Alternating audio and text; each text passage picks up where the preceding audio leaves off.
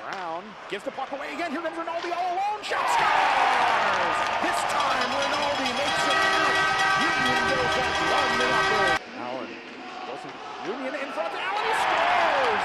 Lucas Hu says no. That's see a lot of power play because he simply doesn't play much. But that's just an old school give and go. Allen's got the puck two on one. Sanda and Harrison. Sanda pass to Harrison. He scores!